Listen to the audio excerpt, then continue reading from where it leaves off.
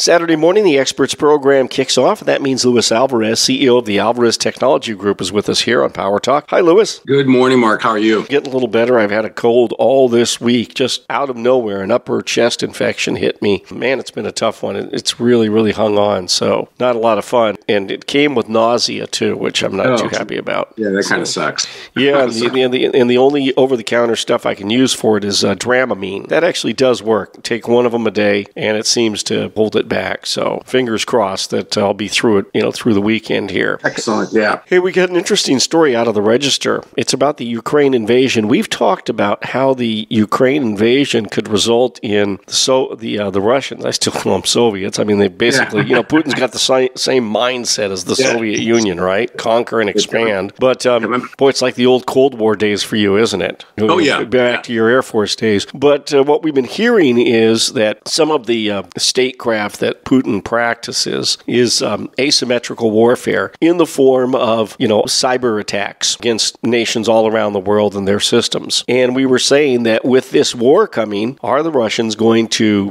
basically unload everything, including the kitchen sink, on the rest of the world as a way of, you know, trying to get back at the rest of the world for the sanctions and the economic uh, hurt that's being caused to them right now over this invasion? We thought something would have started happening in the last couple weeks, but some IT experts are saying that this may be the quiet before the cyber storm. So, what do you think about this, and where are we on this? So, this is something that a lot of our clients and, and uh, other people have asked me about, saying, like, you know, where is the cyber warfare that we were expecting when this all started? And the experts at first were a little baffled by, you know, why does it seem that actually cyber attacks have gone down rather than increasing? But it turns out initially that was caused because essentially Ukraine and Russia host a lot of these ransomware gangs that are state sponsored. They've been going after each other, you know, as part of the, the war effort. You know, the Ukrainian factions are attacking the Russians, the Russians are attacking the, the Ukrainian factions. So they've kind of been at war with each other. But as this thing drags on, more and more we're concerned that Russia is going to become more desperate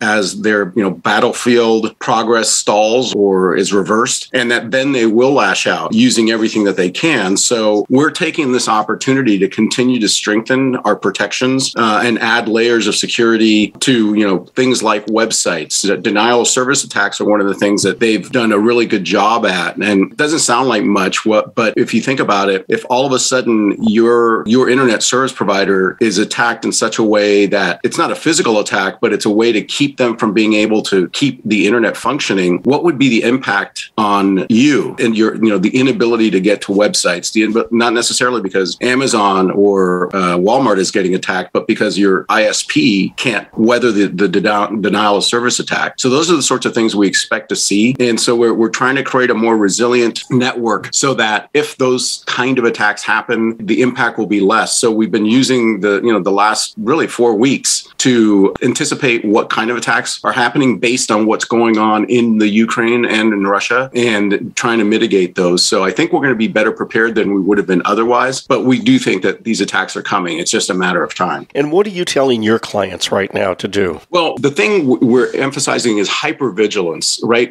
About 85% of all breaches and incidents result from human error. People doing something that they shouldn't do, opening an email, clicking a link, you know, even putting in a USB drive that they got in the mail into their computer, which then infects the computer and bypasses all the protections that, that you put in place to protect infiltration from the internet. But hypervigilance is the most important thing that we emphasize to our clients and our and their employees. You know, make sure that you stay current on what's going on. We do a lot of cybersecurity training, and we've asked our clients to dust that off and, and have their employees go through it again as a reminder, a refresher, what the threats are and how they can detect them and and, and uh, prevent them from happening. But then you also need the technical protections, the things that not only can create barriers to breaches, but also can detect them if they do happen. Because the most important thing that we do as a as a cybersecurity company is we anticipate that there will be something that gets through. So it's just as important to be able to detect that. Just like in your home, locking your windows and locking your doors is important. But if you don't have an alarm system, if somebody breaks through the door, then you don't know about it until you come home and, and find that your stuff has been taken. So we need those kind of alarm systems in place that can alert us to things that are suspicious and unusual. And we're deploying those at, at an ever increasing increasing rate. Hey, one of the other things I, I noticed here is that there was some data wiping malware found in the Ukraine. Now, this sounds really serious. Data wiping malware, is that something that people would want to worry about that could end up in their system? Yeah, so that's the biggest threat that we're concerned about is pretty much cyber criminals do things in order to be able to get paid, right? To make money. But nation state like Russia, they get desperate enough. All they really want to do is cause disruption and, and chaos. So they may deploy tools that will wipe the data completely off of a computer, including the operating system, not because they, they hope to make profit on it, but because they want to cause chaos. And when those kind of tools get deployed, just like, you know, uh, mass bombings, there's no real way to, to recover from it unless you have really good backups. And, and that's one of the things that, that we're also working on is to make sure that our clients have good backups, not only in their offices, but also offsite someplace, and that those backups are, are air gap. That is, that they're set up in such a way that they can't be affected by these kind of attacks directly. Because that's the first thing that the bad guys go for is they go for the backups to